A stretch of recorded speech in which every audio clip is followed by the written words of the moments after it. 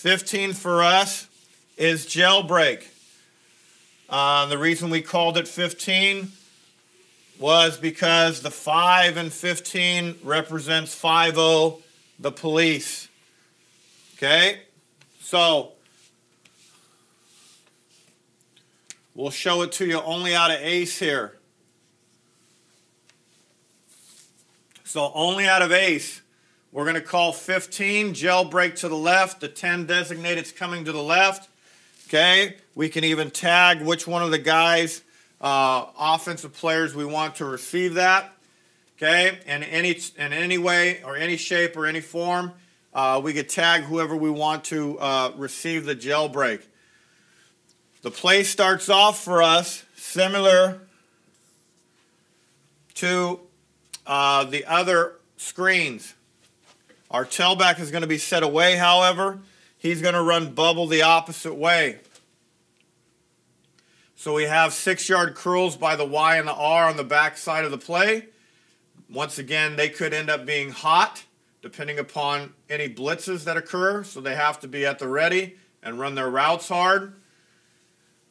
With our tailback swinging, our quarterback wants to take three steps and look at this. So his eyes are looking at the tailback who's running bubble. We want the defense in this manner to be reading the quarterback's eyes and let their drops distort in that area or take them uh, to that location. Our L is going to press up and then work flat out at about two and a half yards out here. Okay, he wants to block the number one defender. The reason he wants to push up and then work out is uh, in case we get man coverage, he wants to drive the defender off and work him out. Doesn't want him following to see the X coming back through.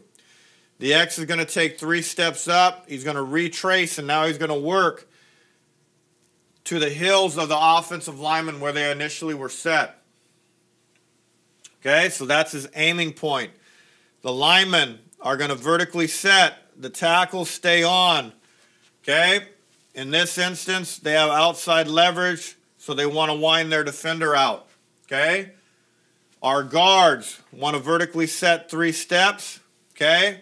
And then our left guard, like previous examples we showed you in the screens, he wants to work flat and work to outside backer.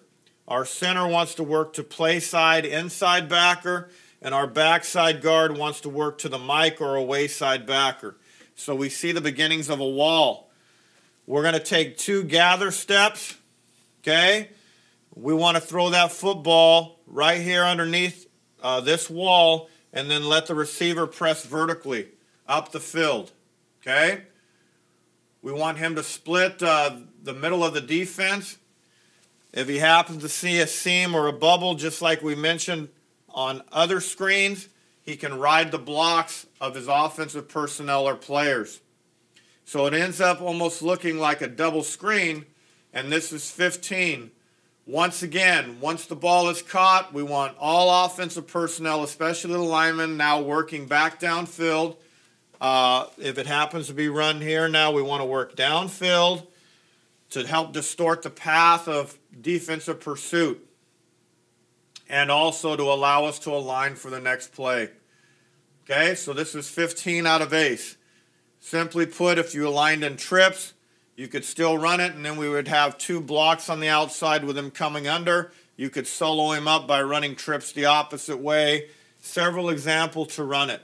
Okay,